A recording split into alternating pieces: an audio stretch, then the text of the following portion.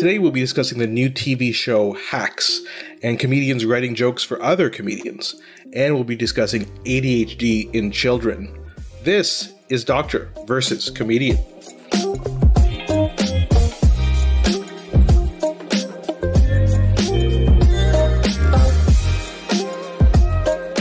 I'm Dr. Asif Doja, and this is the Doctor of Laughs. Not a real doctor. Ali Hassan. Every episode, I pick a topic for Ali from comedy and entertainment, and I question him about it. Then Ali picks a topic for medicine and health and grills me on that topic. Today, we'll be discussing the new cable TV show Hacks and comedians writing jokes for other comedians. And we'll be discussing ADHD in children and whether we're overdiagnosing it. But first, Ali, you're actually visiting us from a different Foreign location. location? now nobody knows. Everybody thinks it sounds like we're in the same room and we record this. We don't. That's a I little guess. spoiler. Well, I think it's valuable to bring it up also because uh, a couple of reasons. Number one, my sound might be different from what Mm-hmm. uh, my little uh, home crafted studio that I'm usually in. So this might sound a little different, but also it might sound different because I'm in a hotel in St. John's, Newfoundland right now. do tell, do, Do tell. tell, do tell. Well, right now St. John's hasn't fully opened up, so it's in you know semi lockdown state. So what young people do is they come to this hotel. They book a room in this hotel on the weekend and they use the pool and the water slide and they get room service and they have the time of their life. And I mention that because you will definitely during this podcast hear screaming children running down the hallway. And I don't want people to be like, does that guy have his children in a dungeon somewhere? I don't. That is gleeful screaming and yelling, and it's children heading uh, to and from the pool. It's happened three times this morning already. Okay. Guaranteed it'll happen in this hour. So I have to mention that. But otherwise, yeah, happy for the little bit of a change of scenery here. So maybe we should explain. So in Canada right now, most provinces are, are locked down, so you can't go in and out of uh, Oh, yeah. Our American listeners, this is a long forgotten memory potentially, right? Yeah. You're right, exactly. In the mainland United States, you can travel. My sister was just in Hawaii, where it's a bit more strict. There's testing when you go in and things like that, and when you're leaving. So, but mainland United States, pretty free to travel between states. But in Canada, it's more restrictive. What the Atlantic provinces did, so Nova Scotia, Newfoundland, PEI, New Brunswick, they had what's called an Atlantic bubble for a while, and now they're easing up on travel within that bubble. But the question is, why are you, somebody who's not from Newfoundland, allowed into the province? Why did So they let my tell. filthy butt into the bu- bubble? Well, I'm uh, I'm on a show. I'm on an episode of a show called Hudson and Rex, and that show is.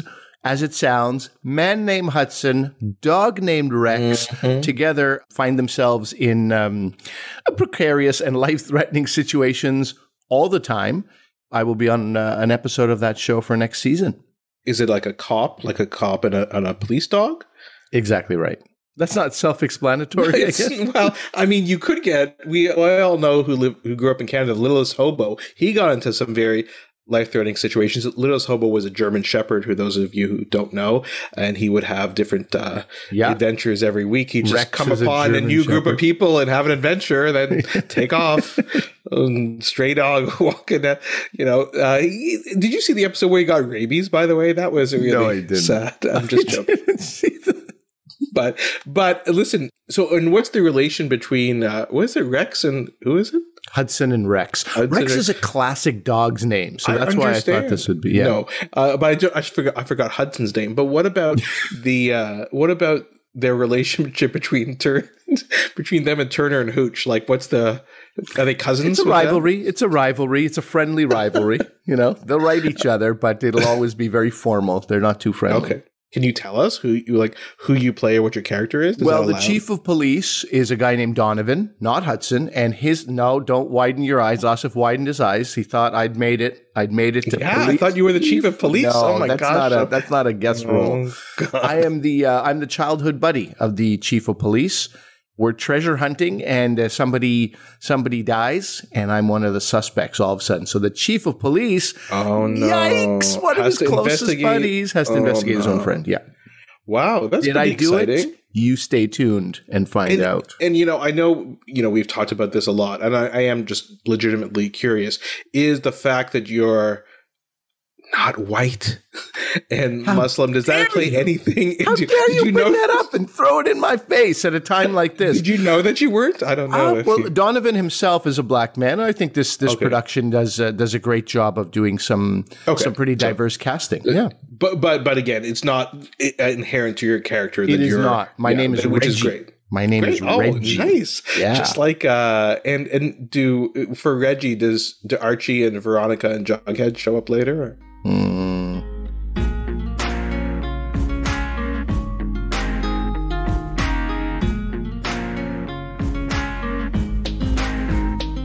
So, Ali, I wanted to ask you about this new show that's uh, on TV. It's on in the States, HBO Max. In Canada, you can get it on Crave. I heard about it through a TV critic who I read a lot, which is Alan Sepinwall. He writes for Rolling Stone. He's been associated with different publications over time, but now he's with Rolling Stone. Great TV critic. And it's funny, you know, these critics that I like is because they write something. I'm like, yeah, exactly. I think exactly the way you do. Which, but in one respect, that's good because then when he's writing something about the show Hacks, then I, am into it. And he was actually writing about the season finale, and I'm like, what? The season? I never even heard of this show. Mm. So it came out in May, and I'm we're only catching up with it now, several months later. And so he was writing about the season finale. So I said I should check out this show. What's it all about? So the premise of the show is Jean Smart, who plays a washed up kind of not washed up, but a, an aging comedian. Hey, if that's washed up, sign me up. Yeah, buddy. she's not really washed up. I shouldn't have said that. She's not washed up. She's at the tail end of her career. She's actually. at the tail end, but she's she's, yeah. she's opulently wealthy. She's made yeah. a, a massive amount of of money and you mentioned this to me, Asif, that uh, this is clearly a Joan Rivers a tribute at the right. very at the very so least. yeah. So she she and because she's doing a Las Vegas comedy show every night or five nights a week or something like yeah. that. She's headlining at a casino in their big theater. But she is at the tail end of her career. So it reminds me of Joan Rivers towards the end. And what happens is she's kind of like, you know, the casino wants to bring in other younger, hipper acts so the character played by Jean Smart is kind of like, you know, how could I stay relevant? And her manager, it's weird though. It's a manager, but I think he acts more like an agent. But what mm-hmm. do I mm-hmm. know about Hollywood and show business? So the manager also has a writer named Ava, who's played by Hannah Einbinder. I think is how you say her name. And she's kind of this entitled writer, comedy writer, you know, the next big thing, who for various reasons gets blacklisted by the entertainment world because of a, a tweet that she she writes, and then so she can't get a job. So the manager's idea is to combine these two people and see if they can help each other. That's kind of the premise. So it's kind of like this odd couple relationship between these people. Ava ends up trying to write material for Deborah, Deborah Vance, Vance yeah. Jean Smart's character. My thanks to uh, your buddy Sepinwall for recommending this to you and for you uh, to have recommended this to me. I really, I've only watched the pilot, but as soon as I possibly can, in other words, today, after I get my first COVID test in Newfoundland, I'm coming back and I'm, I'm watching more episodes. I really enjoyed it. And, and I enjoyed it despite the fact that both the characters are pretty unappealing. They're Ava, this young writer, embodies the worst of Los Angeles in one human being. And Deborah Vance embodies the worst of a rich person. And mm-hmm, mm-hmm. I don't know. I, I was like, this is supremely watchable somehow. Partly because of that Joan Rivers tribute to, right. you know, they have Deborah Vance you know, she's on QVC, so she's on the shopping channel, to which mm-hmm. Joan Rivers was. Mm-hmm. They have pictures on her wall at home where she's on Leno, and um, you'll see in a, in a later episode. In fact, they talk about she almost became the permanent late night host. That's actually part of Deborah Vance's character. I'm not trying to spoil anything for people. Yes. And that f- fell through for reasons which you'll see in the in sure, the pilot sure. uh, and in the second episode wh- why that happened. And so it's clearly, I mean, she has kind of edgy humor. I wouldn't say blue, but kind of edgy humor. And when you think about who this would be in real life, there's actually only one person I could think of is Joan Rivers. There are other older comics, but nobody quite in the age range of this person. Right. Maybe a Phyllis Diller or something like that, but Phyllis Diller would probably be a bit older than this age range. And of course, Joan Rivers has passed away. So it, it, it's kind of extrapolating maybe what would happen to Joan Rivers if she didn't pass away several years ago. I love Joan Rivers. I think she was hilarious. She was so fearless in her comedy and I think that's why she got into trouble, you know, with Carson sometimes and with um, some of her jokes. But she, you know, didn't shy away from it, and that's what you kind of want in a comedian. Yeah, not one of my favorites, as it as it turns out. Just as a person, I, I didn't I didn't find her very likable, but I give her a tremendous amount of respect for her work ethic, which was tireless to the point of almost mania, and also her fearlessness. I mean, what she did, she was a pioneer. She was an absolutely mm-hmm. groundbreaking mm-hmm. performer and what she was able to do. And her roots, you know, who she was and where she came from to what she made of herself. It's it's very, very impressive. I'll never cease to be impressed by her journey as a performer. And I encourage people, if they don't know enough about Joan Rivers, she deserves some respect for what she did for female performers and for the field of comedy in general. And I, I think, you know, there is a documentary and I'll tell you, it was actually influential in my life. It's called A Piece of Work. A Piece of Work, yeah, yeah, exactly. And that documentary, when I saw that in, I think it was 2014 or 2015, it, I mean, this woman has a team. Okay. So she has an actual team. There's like two accountants, there's two managers, there's an agent, there's every, all these people who surround her influenced me. That I watched it later after it had come out uh, already a few years.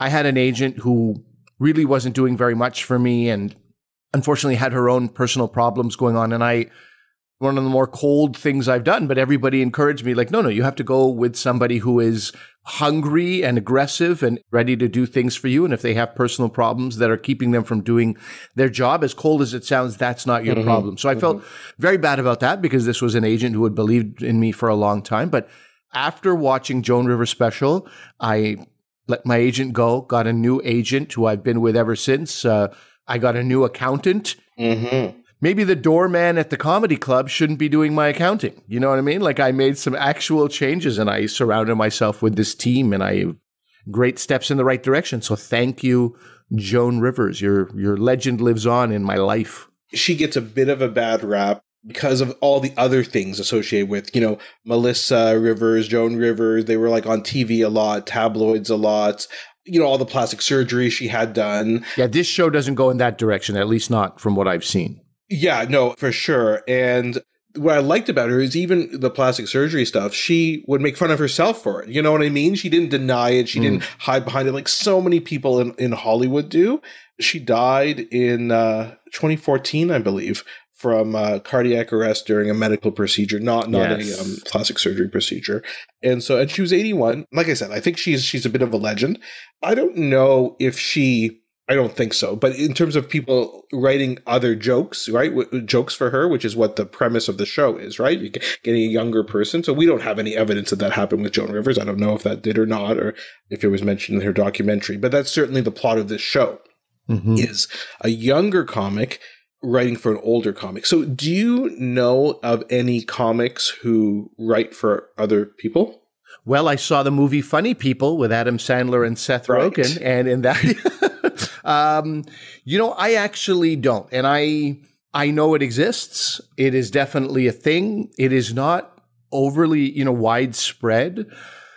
I understand it. I respect it in the sense that you know some of these a younger comic who works every other weekend and does open mics and stuff they can they can judge it and they can say like oh i would never have somebody write for me and that's fine but you don't have the schedule of a Joan Rivers, or let's say a Russell Peters, for example, or any one of these touring headlining giants who do arenas across the world, massive theaters and arenas. When do you have time to stop and write? You really don't. Russell Peters, I bring it up because he's also one of his sort of hacks, quote unquote, pun intended, because the name of the show is hack. One of his hacks, life hack, although it's it's not really a hack because it's his natural skill, is crowd work. Mm-hmm. So what he can do is he can do 30 minutes or more of crowd work in a one hour show, thereby lessening the quote unquote burden of joke writing because you're just doing stuff in the moment. Sometimes in the moment, something is like, you know what? What just happened in the moment? I'm going to turn that into a joke and I'm going to use that as a new joke. And sometimes you can travel, and in your travels, you can be like, this is what I saw, this city. Not everyone can do that. Some people really go city to city with their act, right? So mm-hmm. it's like, how are you Fort Lauderdale? How are you Duluth? How are you Santa Fe? And then they just go into their act. That's what people, not, not every comic has to do 10 minutes on the city they're in. For me, that's incredibly important. That has always been, you know, when I used to go to the comedy works in Montreal and sit and watch these performers, even if they did some hacky joke, even if it was something like, "Hey, nice to be in Montreal. You know that uh, that Olympic Stadium of yours. Uh, gosh, when that thing's finished, it is going to be something special." And that that was a joke because the Olympic Stadium had like a it was a, a large toilet bowl, effectively. right, a, right. You know, it, it was completed. Right, that was the joke. It was completed in 1967. It was completed in 1967, but it looked incomplete. Hacky joke. Many comedians have done it before or variations of it, but just the fact that these comedians would, you know, take a second to talk about the city that they're visiting. It always impressed me and I always enjoyed it. So for me, that's, that's a thing I always like to do, talk about the city I'm in. And that's why to me, it's important to get there a little bit beforehand, walk around the city, embrace it. Anyway, not everybody does it. And if you're touring and night after night, day after day, you're waking up in a new city, where's the joke writing time, right? And then mm-hmm, as soon as the mm-hmm, joke writing mm-hmm. time's done, you're on a television show. And now you now your schedule is again a crazy show because you have to cram in all these this other work when you're not touring. So, all that to say, it is actually necessary for some people if they want to build an hour of comedy. You know, I was I was shocked a number of years ago, there was this panel, if you remember, Louis C.K., Ricky Gervais, Jerry Seinfeld, Chris, Chris Rock. Yeah. And everyone was like, what is Ricky Gervais doing on that thing? Well, I think Ricky Gervais kind of was the one who got all those people together yes. for that. Uh, yeah. And let's also remind everybody Louis C.K., total jerk, Absolutely. loser. Brutal. Absolutely. And that jerk, we found out there they said it publicly. Chris Rock, I think, is the one who said, "Yeah, Louis was writing jokes for me." I was like, "What?" First of all, this white dude is writing jokes for Chris Rock. That's mm-hmm, weird. Mm-hmm, but second of all, mm-hmm. somebody has to write for Chris Rock. And I remember this was, you know, whatever it was, six, seven years ago now. I was pretty stunned. But over time, you come to terms with these things. They just don't have the time for jokes. I think where you're going also is asking me about if I've ever had anybody write for me, and I have not. Hmm. It's been offered twice, and I don't know, it feels weird. God willing, my career will be doing very well. It'll be going just fine if I'm ever able to say, yeah, I need that. I need some mm-hmm. some jokes written for me the times I've seen it on TV, I just think of examples. It's usually there's comedy writers who write for so special, so the Oscars, right? Yeah. And then when they have the banter and the jokes and the monologue by whoever the host is, the host isn't coming up with that material. Maybe if it was like I was going to say if it when it was Ellen DeGeneres or David Letterman, but that, that's not true either. I mean, Letterman has writers who write like on the show, and every night the monologue for him, for Kimmel, for St- Stephen Colbert, for Jimmy Fallon. Trevor all Noah, those guys have yes. their own writers. Even though it sounds like they're coming up with their own thing, clearly they have writers doing it. But at the Oscars, like Bruce Vilanch is like was like the classic guy. Remember, he was like in the probably the bottom corner on Hollywood Squares, and we're like, uh-huh. who is this Bruce Vilanch with the crazy hair? But he was like a well-known writer, right? Yeah, and yeah. he was like the comedy writer for the Oscars, and always going to him for the funny quips and things. And he, I thought he was a legitimately funny, funny person. I bet. And uh, the roasts, like that we talked on a previous episode about roasts. Certainly, there are comedians who are on roasts who come up with their own material for sure. But I'm sorry, there is no way that Justin Bieber and Bruce Willis, and all these guys are coming up with their own jokes. Certainly, they may come up with some jokes, but I can almost guarantee you that 100% of their jokes are not fully formed from their own mind. Sure. I used to be on this panel, George Stroumboulopoulos tonight, this comedy panel. And We had a writing room that would write because there was a third chair that was a rotating chair of guests. Mm-hmm. I was a lead. The middle chair was one of maybe three people who were always there. And then the third chair was guests, and they would write for that guest. And sometimes a guest would come in and refuse all the jokes. Mm-hmm. But the team still had to do all that writing. And sometimes a guest would come in with absolutely nothing and take all those jokes.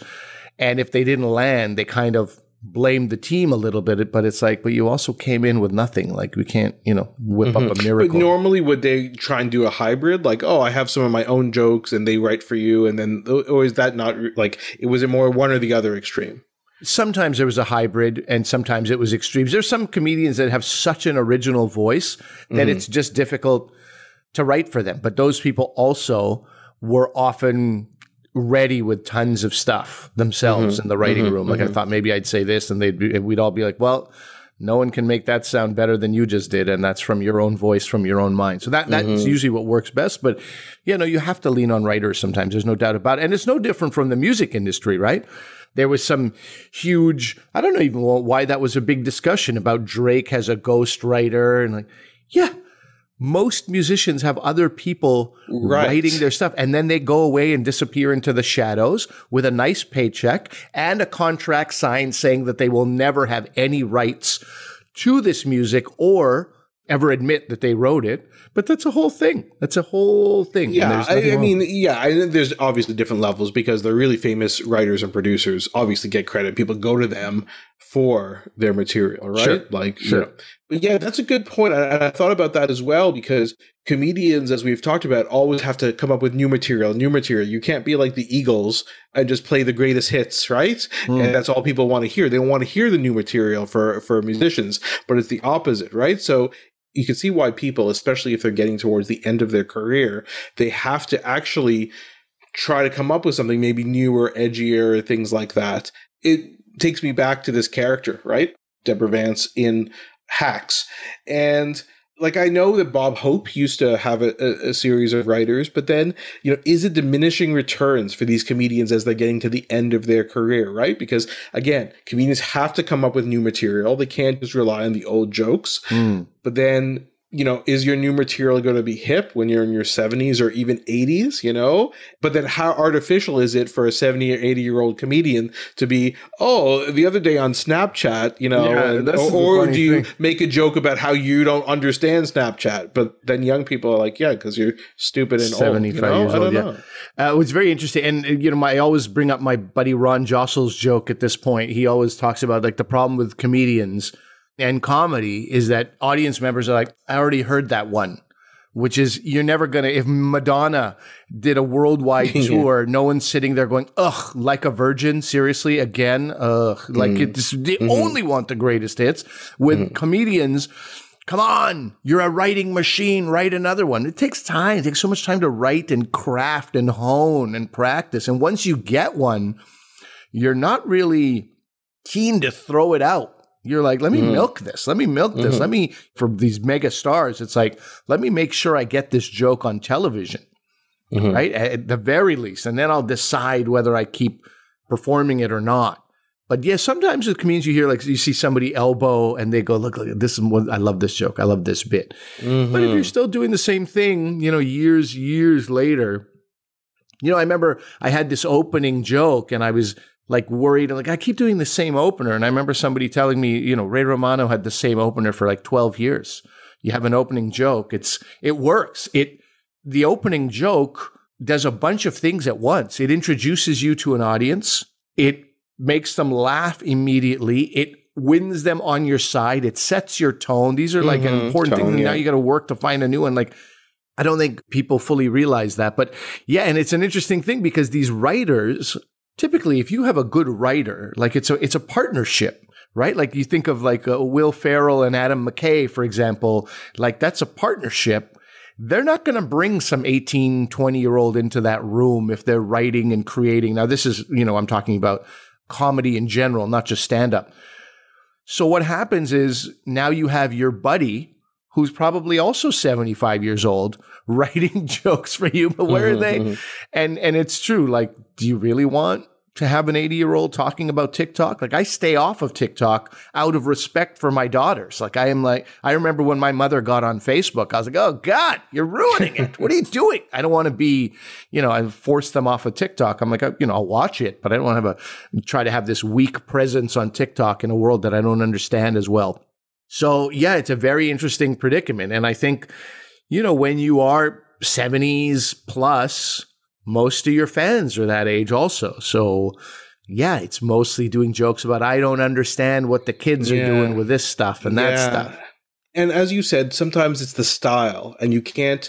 Can you write in that comedian style? So I don't know anything about Bob Newhart in terms of if he has writers or not. Hmm. But Bob Newhart's comedy is such a specific style, especially his his the phone calls, right? Yeah. Like the phone yeah. call, the one sided conversation. You're only hearing your side. I mean, it's nobody does it better. Nobody does that better than Bob Newhart. I'm sorry, but he's the best. Mm. But that's a very specific way he writes and the way he pauses and the way he tells the jokes and the way you're hearing his side of the conversation, not the other one. Uh, I don't know. I mean, maybe he has writers, but I, that's a, a, person who is getting up there. He's 91 now, mm. but who it seems like it would be hard to write for that kind of style to get his exact voice. That's interesting. I mean, I think they could punch up Mm-hmm, mm-hmm, mm-hmm. After that one pause, you say this, maybe you could say this, and he could be, oh, yeah, I like that, right? But his entire style, it would be difficult. Whereas Don Rickles, mm-hmm. you know, recently departed, but best friend of Bob Newhart's, was a much more, you know, rat-a-tat-tat roast comic style that's yeah, very easy insult, insult, insult comic, yeah. And you can see I can write a joke in a Don Rickles style, right? right. Whereas right. you could also try and write a joke in a Bob Newhart style, but I don't know how good you'd be in terms of doing that. Yeah, yeah, he's the master. At the beginning, you were talking about some of your thoughts on the show Hacks, which kind of prompted this whole conversation.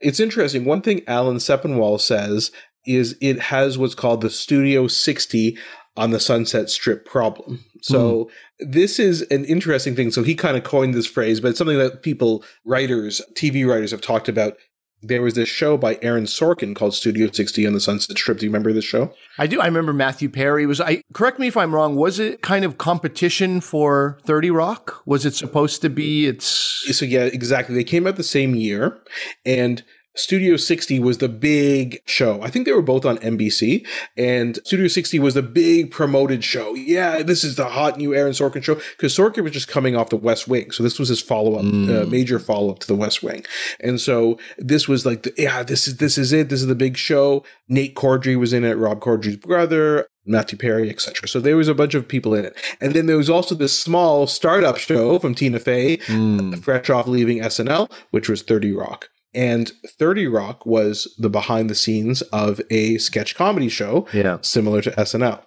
Studio 60 was the behind the scenes of a sketch comedy show similar to SNL. So both these things coming out at the same time. And they were on the same network? Yeah, they were on the same network. If you can believe it, it's just so crazy that that happened. Starting in I think 2006, it's it, they both came on.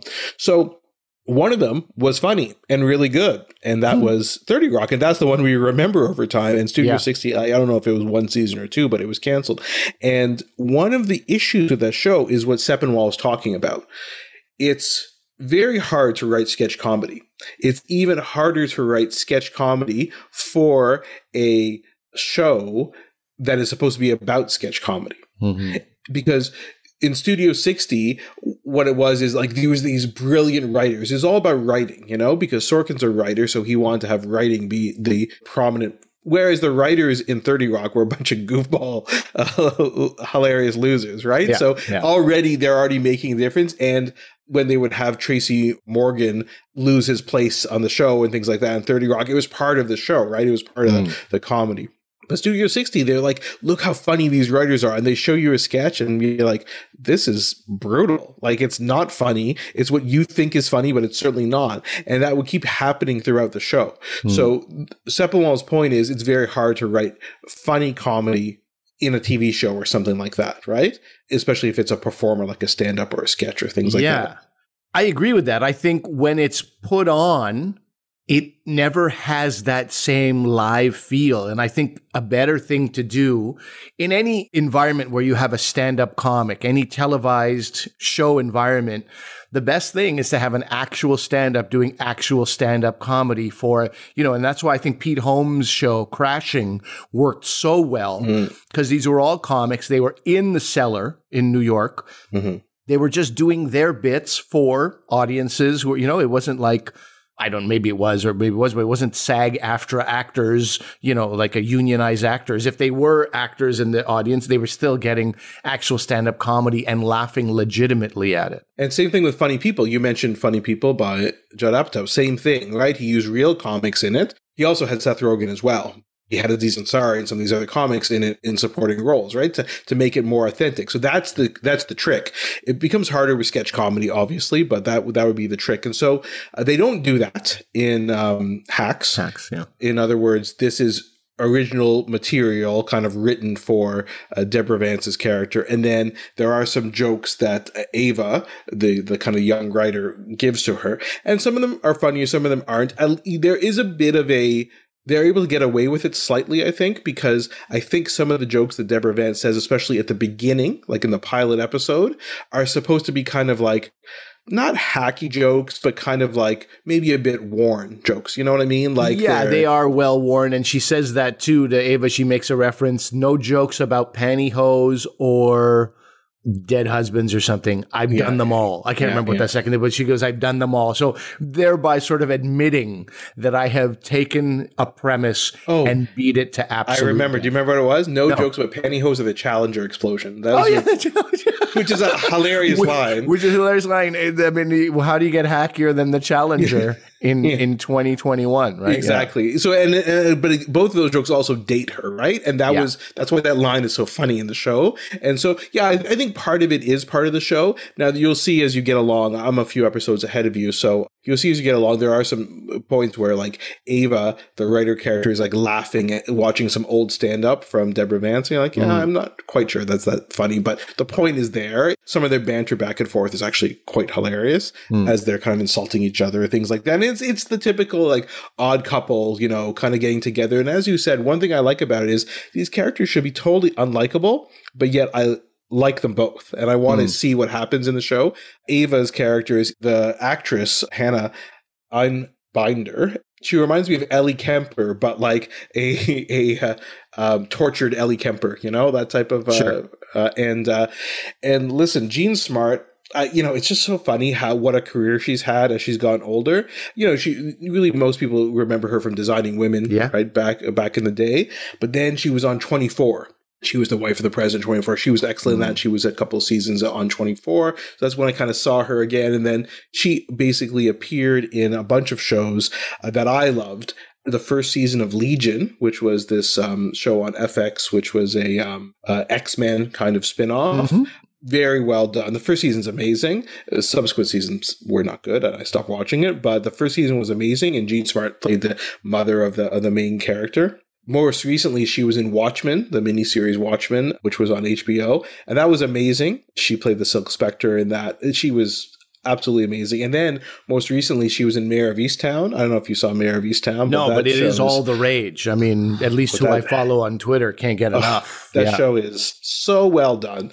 And again, like she just proves, and she's a relatively minor character in it, but again, very different than her character in Watchmen, and very different than the character of Deborah Vance. So you, you you can tell that writers in Hollywood and directors are watching Jean Smart. They're like, I need her in my next show. I need her yeah. in my next show. And she's doing a great job. I thought she was excellent in the Phenomenal. show. Phenomenal. Absolutely great. Absolutely great. And yeah, I think it's a testament to both these actors, Hannah, who plays Ava, and Jean Smart, who plays Deborah, are supremely unlikable and yet supremely watchable. And that's a balance not everyone can achieve easily because it's it's too like unlikable for too long. You're changing. You're you've got millions of options and you're out. But it, you know, mm-hmm. it says something that both of us yeah, were stuck and there on. there are shows that I stopped watching for unlike like I know a lot, a lot of people love Eastbound and Down and other shows of that kind of genre, but mm. when the character is so unlikable and the thing when you have unlikable characters is I think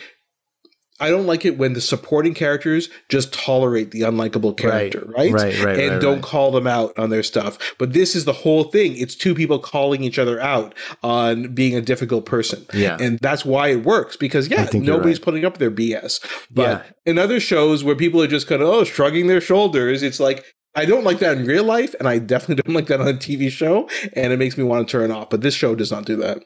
But overall, I think that everybody who thinks they might like the show definitely check it out. It's definitely worth uh, watching. Would you agree? I would. I would definitely. And if you want to hire a writer for your comedic pursuits, don't hesitate to do that. It is done and it is acceptable.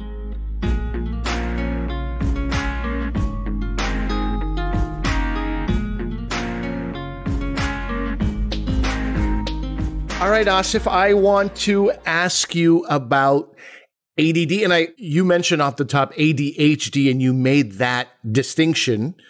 For me, layperson, mm-hmm. ADD feels like the umbrella term and ADHD came on as a, a subset of it. I'm sure that's incorrect. So let's start by asking you what is the difference between ADD and ADHD? Right. Yeah, and I get this question almost every day when we're talking about ADHD. And just so people know, I don't diagnose it or treat it, but because I see a lot of neurologic problems, you can have both, right? I see patients with epilepsy, often they have ADHD. I see patients with tics and Tourette syndrome, they often have ADHD. So we see it a lot, and I'm able to like counsel patients about it. And, and sometimes they'll say, "Oh, so your your your child," it says here on their chart that they have ADHD. They're like, "No, no, it's ADD." For anyone who doesn't know, I know we have I mean attention deficit disorder and attention deficit hyperactivity hyperactivity disorder, disorder right? right? So, but they're actually all the same thing, and so I'll explain how it's kind of diagnosed. So basically, you have wait, wait, wait, um, all the same thing, meaning there is no difference effectively. There's no difference. The, there's no oh. difference. There's no difference. Yeah, exactly. So I oh. know that's why I'm like, it doesn't matter. And like where you're making a distinction where there really doesn't need to be oh. any. So basically, ADHD is the umbrella term, attention deficit hyperactivity disorder. But you do not have to have all of those features in it. Okay, so there's different subtypes. The subtypes would be an inattentive subtype, okay, where you just have inattention. So, or you can have the impulsivity slash hyperactivity subtype. Or you can have a combined subtype where you have all those things. And that's how we differentiate. But the umbrella term is ADHD in medicine. And, uh, and you can have different subtypes of it. So some people don't like that because they're like, no, my child just has inattention. They don't have hyperactivity. So don't include that in there. But mm. that, that's making like distinctions where you don't really have to. But that's basically it. That's the definition of it is you have inattention and or hyperactivity impulsivity. Which you and, may or may not have. Right, exactly. And so it occurs in quite a few kids. 3 to 10% of all children will have a diagnosis of ADHD. This is the real question once you've sort of given the definition of what it is. The, the real question I think that many people would want to ask is is this new or has it always been around and we just right. didn't know okay. about it these are the things we you know as, as non-medical people were always wondering yeah so very good question so let's let's get into that in a, in a second so hyperactive and and impulsivity like that can sometimes just be normal. We've all had toddlers right? Those of us who've had kids. When they're two or three years old they're running around like crazy. They're not staying on one task. They're moving around. But sometimes that can be age appropriate. So is it age appropriate? Is it not?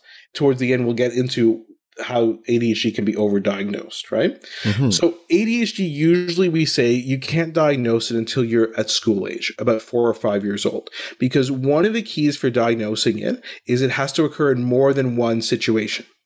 So, for example, sometimes you hear parents saying, "Oh, my kid's crazy. They're running around at home. They're uh, throwing things. They're impulsive, and blah blah blah." And then they go get to school. They're totally fine. They sit hmm. there, pay attention. There's no issues that's maybe not ADHD. That may be a behavior issue specific to your home, you know?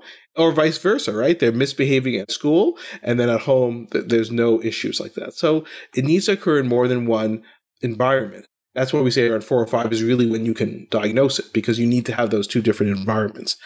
The other thing is that it needs to interfere with your functioning. And a lot of mental health disorders that's one of the criteria. is It needs to interfere with your functioning.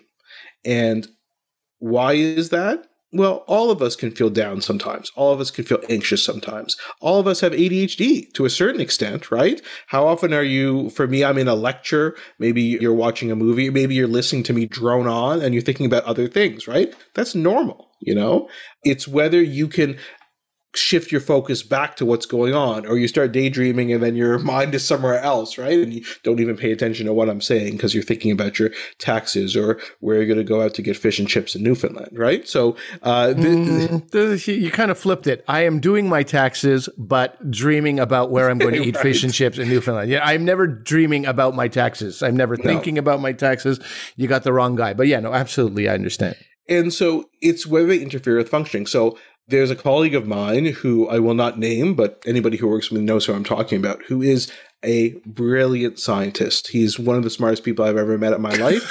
He let me not name him after I give him the best compliment imaginable. Okay, all right. It, it, well, it's because of what I'm going to say. I don't know for sure, but my opinion, he's he clearly has ADHD. He's all over the place. He's also one of the funniest people I've met in my life because his mind works so quickly, but it's always working on a multiple different things. But despite that, or you know, again, I'm just assuming he has ADHD. I, uh, he's never told me before, but he is one of the most respected scientists I've ever met in my life. So you could have ADHD and it does not interfere with your functioning or you can interfere with your functioning. So a lot of people, it's school performance for kids, right? It's interfering with your with your life in terms of school performance, but it's more than that. It's, it's sometimes kids getting in trouble, right? With because they're talking out of turn, and I'll give you examples of all these different things and the way I ask it in the clinic. But they're talking out of turn, they're they're doing things impulsively, and they're getting in trouble. Then you have to think about it. Well, you know, parents or sometimes, well, the teachers have to modify their programs and things like that. And certainly that does have to happen sometimes. Teachers have to have some understanding of it. But we have to think about how sometimes this interferes with kids because the worst thing you could ever do is label a child as being a quote bad kid. A bad kid is someone with like an antisocial personality disorder, or in children we call it like conduct disorder, things like that. Those are so rare. Most kids aren't bad like bad kids. That's that's such a. Uh, but you'd never want your child to be labeled as that. And remember, even if the teacher's doing the right thing, some kids can be labeled by their peers, right? Where this person always gets in trouble. I don't want to. A patient of mine with, with ADHD and the family would tell me that they never get invited to birthday parties because all the parents have labeled this kid as a uh, bad kid, a bad kid, and mm and they're like, no, we're not inviting this kid. He causes trouble all the time, gets in trouble all the time. And then you could just picture this kid like staring through the fence, you know, the little holes in the fence, looking at the birthday party happening next door not invited to it. You know what I mean?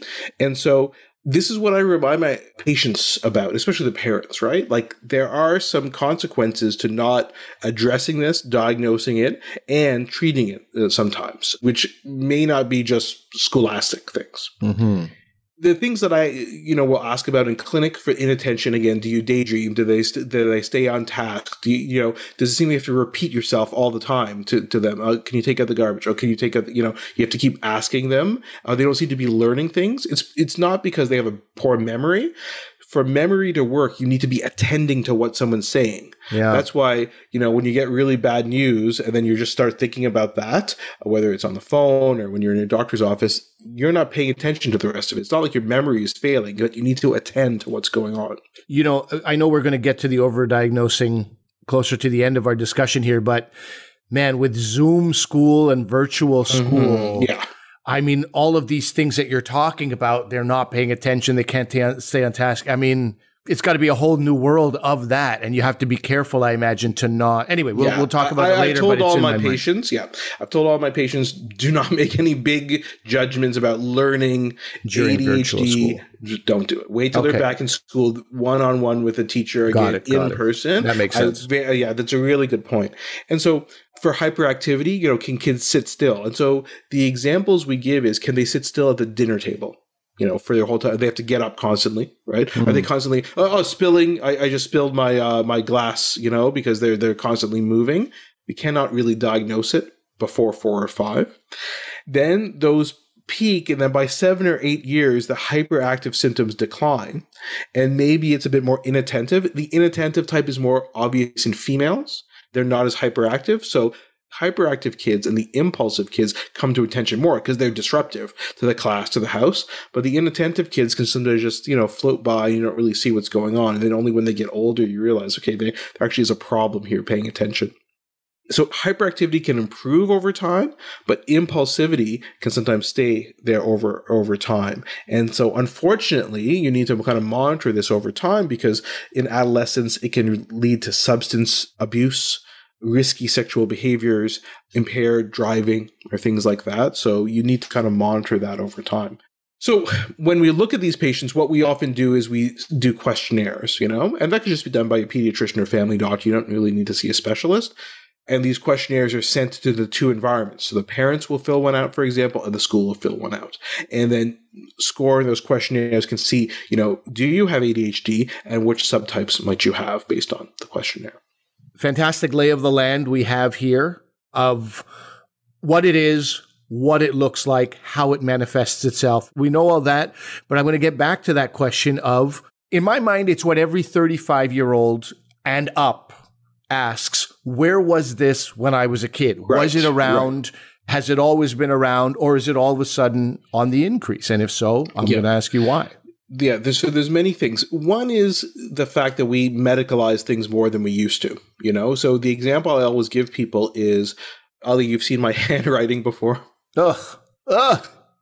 It's really the worst. It's it's even bad for a doctor. Yeah, it's it's no, the it's worst. A, it's a drunken chicken, is what it looks like. if you gave, if you fed a chicken tequila and then put a pen in their mouth and said, "Start writing." First of all, that's pretty good that a chicken can do that. So there's that level of we're impressed. But man, besides that, I don't know what that is. I didn't know if I ever told you this. I almost failed kindergarten because I couldn't tie my shoes.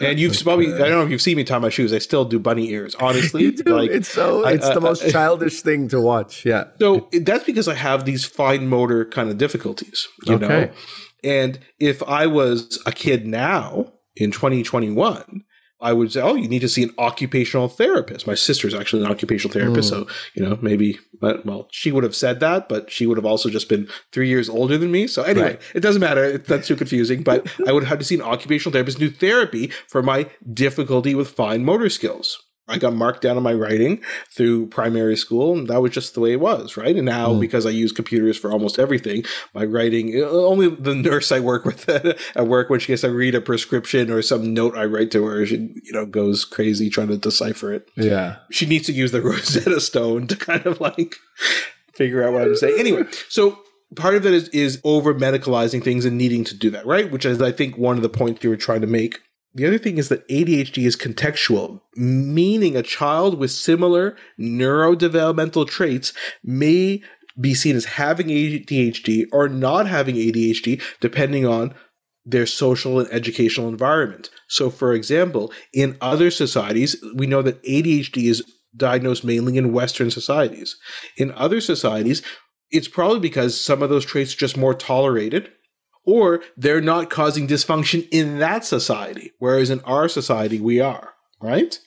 And the concerns about overdiagnosis could be that we've we're broadening the definition of ADHD because it changes over time. That's again why we get into the ADD versus ADHD and things like that because definitions change over time.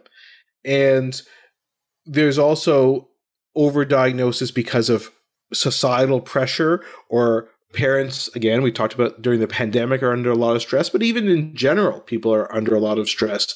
And if their kid is having these issues and being disruptive at school being disruptive at home they may take them to attention more than in some other cultures where again that's that they're more relaxed about some of these things. And there are significant demands being made on school with children standardized tests you know being involved in all these activities pressures and things like that. So maybe it's that school environment and our educational environment which is also kind of pushing things over. But there's also something with regards to age. And are we just overdiagnosing kids because of age related issues so, some studies have shown that the youngest children in a class were more likely to be diagnosed with ADHD than the oldest children. Okay, that's been proven in a couple studies. So, for example, there's one study from the Journal of Health Economics where they found that the youngest kids in a cohort of a class, right? Because you have kids in the older age range and the younger age range, mm-hmm. 10% of the youngest children in a kindergarten class were diagnosed with ADHD, whereas only 4.5% of those who were the oldest in the class. Okay, so it just might be a case of those kids getting lost because the the material skews towards the slightly older kids. Exactly. Exactly. And then what should just be a normal age development process where you know you have to learn a bit when you're younger how to behave and things like that how to sit still sit on the carpet during carpet time and things like that. Mm. they just haven't gotten there yet but we're falsely diagnosing as adhd studies show it has been overdiagnosed. There's been a consistent increase in adhd diagnoses between 1989 and 2017, and an increase in pharmacologic treatment for ADHD between 1971 and 2018. And we're also seeing more and more kids on the milder end of the ADHD spectrum. Again, is that because of age? Is that because of broadening of the diagnostic criteria? But we're definitely seeing that. So, yes, I agree with you over time, overdiagnosing has probably occurred. But and there's a very good, again, another systematic review that came out in, in JAMA Network Open that talks about some of these issues. And I know that's a good journal because I had an article come out of that journal three days after this one came of out. Course. So yeah, it's yeah, definitely yeah. a good journal, guys. Check out my article. For overdiagnosis to to be a problem, it has to be causing some harm. But in fact, some people argue that there could be some benefits to overdiagnosis. So some studies show that the diagnosis kind of provides a an explanation for the symptoms people are having and a sense of legitimacy and maybe some more understanding and empathy and sympathy for what's going on and less guilt you know i'm not a bad kid right remember these are kids we're talking about i'm not a bad kid i just have this adhd and you know we can look into treating it and then I might improve based on that. There's some studies that find enhanced confidence in these kids, a sense of belonging, and enabling kids to have some ownership of their disease and to seek help. But as always, there could be harms as well, right? So some people say it actually decreases resp- a sense of responsibility. I say, well, it's not my fault. ADHD, you know, sorry, you know, mm. I, it's, not, it's not my fault for this going on. There's the labeling. Like, is there stigma associated? Uh, could there be prejudice? Oh, this kid's diagnosed with ADHD. A teacher says, oh, they're, they're coming to your classroom next year. ADHD diagnosis over here. And maybe it's the opposite. Maybe like because you're medicalizing them, there uh, have more isolation or exclusion or shame because of that right mm-hmm. or maybe a sense of hopelessness so I, I can't do anything because you know i have this label of adhd so there's probably there's some literature talking about maybe there's some benefits maybe some literature talking about the harms you know we should back up before we go forward which is with a question do, and I'm sure this is in the, you know, I don't know the answer, but I, I bet it's the same unsatisfactory response as you get with a lot of autism and a lot of the cancers. Why does it happen? It's a good point. Yeah, we don't know. It involves the circuitry that goes from the base part of our brain, an area called the basal ganglia, to the front part of the brain. The front part of our brain controls a lot of inhibition and things like that. We don't know why. There's a there's a genetic component as well, definitely to ADHD, but we don't really know what causes it. Okay. With that in place, what works to help manage it. And and and uh, you know, I say manage because I assume it doesn't go away, but maybe it does. I, I don't know. Is there anything? And I want to know, uh, as always, what outside of you know medicine helps manage it right, as well as right. medicine it does improve in a lot of patients over time, not all of them. And maybe that can be another discussion about ADHD in adults. Yeah. But if they're age four or five, so just starting off in like kindergarten, things like that, then usually it's a behavioral treatment. Older kids, we would use medication, so like stimulant medication, plus or minus behavioral therapy as well. So the stimulant medications are things you've heard about, like Ritalin and things like that. There's also longer acting forms of Ritalin. Ritalin is a very short acting stimulant, so we use longer acting ones. And then there's some what we call non stimulant medication. There are pros and cons to them. Stimulants, the main thing is they cause a lot of insomnia, weight loss loss, they decrease your appetite. Those are the, the main uh, risk factors. Some patients are hesitant about it, but it's like I say with everything, you know, is this ADHD interfering with your child's life? If it's interfering with their life, you want to think about looking at treatment. And if it's not, maybe you don't need to do anything, right? So I'm not saying you have to do it, but at least it's worth thinking about if they do. The behavioral treatment is, uh, you know, changing behavior using rewards, reinforcement, timeouts, withdrawing privileges or things like that if, if you're not getting the desired behavior. There's lots of things they say, you know, maintain a schedule, keep distractions to a minimum. Don't tell kids to do five things at once. Uh, go to your room, uh, make your bed, do this, do that, do this. You know, one or two instructions at a time, right? Let them concentrate, accomplish that, move on. There's whole specialists and psychologists who you see just for this, this behavioral treatment for ADHD. What about alternative medicines or, you know, exercise, diet, or right, anything right. else proven to, to help manage it? Yeah. For the people who listen to the podcast who are doctors, you need to ask about this because some studies say as many as 64% of patients with ADHD will be looking at complementary alternative medicine, things other than the stimulant medications, right? So things that probably work or would be good is exercise. There are some studies looking at exercise in ADHD, and we know that exercise in general is good, so it's worth looking into. Things that probably don't work, elimination diet, so getting rid of things with food coloring, getting rid of chocolate, getting rid of sugar, probably doesn't work in terms of the evidence that's out there. A lot of people th- talk about taking fatty acid supplements like omega 3s. Again, the evidence there is some evidence out there, but really there's a lot of conflicting studies, so probably it doesn't work that well. Mindfulness, again, there is some suggestion from some studies that work, some that it doesn't. So probably it's better to focus on the other behavioral therapies as opposed to something like mindfulness. I thought there might be some link between sugar sugar and hyperactivity yeah. seem to have some links. At least, you know, when I give my kids sugar, we notice they become complete spazzes, and and, and that's been a, a thing. You can see kids bounce off the walls after a, a bag of whatever Skittles or M and M's. So I thought the hyperactivity in ADHD might have some link there, but those those studies haven't been done. No, or they have been uh, done. Has, in, uh, in yeah, yeah, not really panned out. So we don't recommend any dietary in- interventions. Okay, interesting. Suspicious, but interested still, I remain. Okay.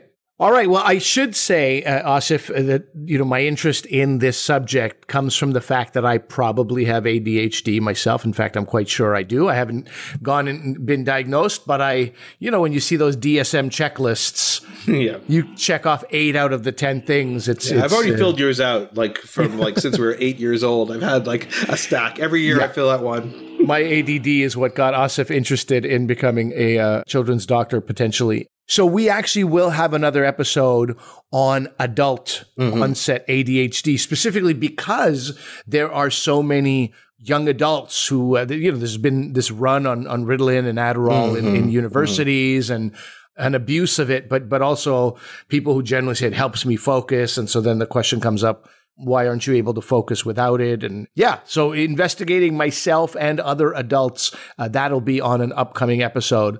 This is a great primer for people who want to understand the world of ADHD.